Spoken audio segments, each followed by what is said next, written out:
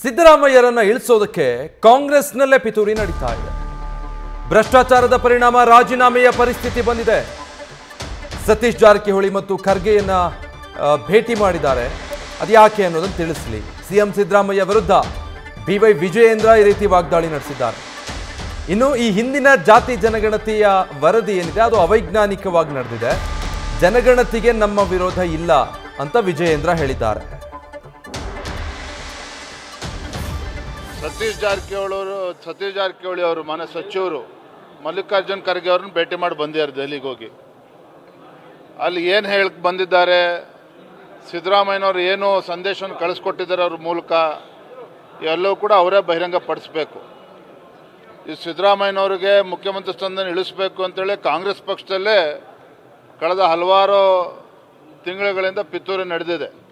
ಆದರೆ ಇವತ್ತು ವಾಲ್ಮೀಕಿ ಅಭಿವೃದ್ಧಿ ನಿಗಮದಲ್ಲಿ ಆಗಿರ್ತಕ್ಕಂಥ ಹಗರಣ ಇರ್ಬೋದು ಮೈಸೂರಿನ ಮೂಡ ಹಗರಣ ಈ ಕಾರಣಕ್ಕಾಗಿ ಮುಖ್ಯಮಂತ್ರಿಗಳು ತಮ್ಮ ಸ್ಥಾನಕ್ಕೆ ರಾಜೀನಾಮೆ ಕೊಡಬೇಕು ಅಂತೇಳಿ ಭಾರತೀಯ ಜನತಾ ಪಾರ್ಟಿನೂ ಕೂಡ ಹೋರಾಟ ಮಾಡ್ತಾ ಇದೆ.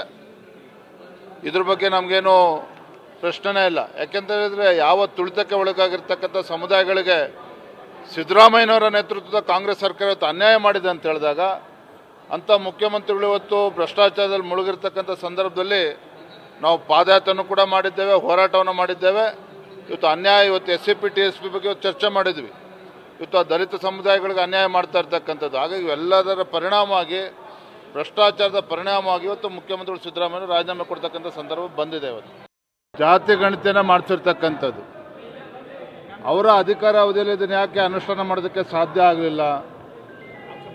ಇವತ್ತು ನಾನು ಹೇಳ್ತಾ ಇಲ್ಲ. ಕಾಂಗ್ರೆಸ್ ಪಕ್ಷದ ಮುಖಂಡರೇ ಮಾತನಾಡ್ತಾ ಇದ್ದಾರೆ. ಕಾಂಗ್ರೆಸ್ ಪಕ್ಷದಲ್ಲಿ ಇರ್ತಕ್ಕಂಥ ಹಿರಿಯರು ಇವತ್ತು ಇದ್ರ ಬಗ್ಗೆ ಚರ್ಚೆ ನಡೀತಾ ಇದೆ. ಇವತ್ತು ಮಾಗಡಿ ಬಾಲಕೃಷ್ಣ ಅವ್ರು ಏನು ಹೇಳಿದ್ದಾರೆ, ಡಿ ಕೆ ಶಿವಕುಮಾರ್ ಅವ್ರು ಏನು ಹೇಳಿದ್ದಾರೆ, ಎಲ್ಲೋ ಒಂದು ಕಡೆ ಮೈಸೂರಿನ ಮೂಡ ಹಗರಣ. ಮುಖ್ಯಮಂತ್ರಿಗಳ ಒಂದು ಸ್ಥಾನಕ್ಕೆ ಕುತ್ತು ಬಂದಿದೆ. ಮುಖ್ಯಮಂತ್ರಿಗಳು ತಮ್ಮ ಸ್ಥಾನಕ್ಕೆ ರಾಜೀನಾಮೆ ಕೊಡ್ತಕ್ಕಂಥ ಸಂದರ್ಭ ಏನು ಬಂದಿದೆ, ಇಂಥ ಸಮಯದಲ್ಲಿ ಈ ರೀತಿ ವಿಚಾರಗಳನ್ನು ಎತ್ತುವ ಮೂಲಕ ಮೂಢ ಹಗರಣವನ್ನು ಬದಿಗೊತ್ತಕ್ಕಂಥ ಪ್ರಯತ್ನ ನಡೆಸಿದ್ದಾರೆ ಅಷ್ಟೇ ಆದರೆ ಎಲ್ಲೋ ಒಂದು ಕಡೆ ಸಿದ್ದರಾಮಯ್ಯನವರು ಇದರಲ್ಲಿ ಪ್ರಾಮಾಣಿಕತೆ ಇದ್ದಿದ್ದೇ ಆಗಿದ್ದರೆ ಹಿಂದಿನವರ ಅಧಿಕಾರಿ ಅವಧಿಯಲ್ಲಿ ಇದನ್ನು ಅನುಷ್ಠಾನ ತರೋದಕ್ಕೆ ಸಾಧ್ಯ ಆಗಿತ್ತು. ಈ ಕಾಂಗ್ರೆಸ್ನಲ್ಲಿ ಇದ್ರ ಬಗ್ಗೆ ನಾನಾ ರೀತಿ ಚರ್ಚೆಗಳು ನಡೀತಾ ಇರ್ತಕ್ಕಂಥದ್ದು ಕೂಡ ತಾವು ಗಮನಿಸ್ತಾ ಇದ್ದೀರಿ.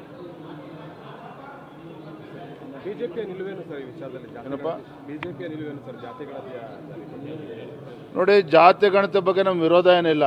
ಆದರೆ ಎಲ್ಲೋ ಒಂದು ಕಡೆ ಇದು ತರಾತುರಿಯಲ್ಲಿ ತರಾತುರಿಯಲ್ಲಿ ನಡೆದಿದೆ ಇದು, ಅವೈಜ್ಞಾನಿಕವಾಗಿ ನಡೆದಿದೆ ಅನ್ನೋ- ಅನ್ನೋದು ಶಾಮನು ಶಿವ ಶಿವಶಂಕರಪ್ಪನವರು ಹೇಳಿದ್ದಾರೆ.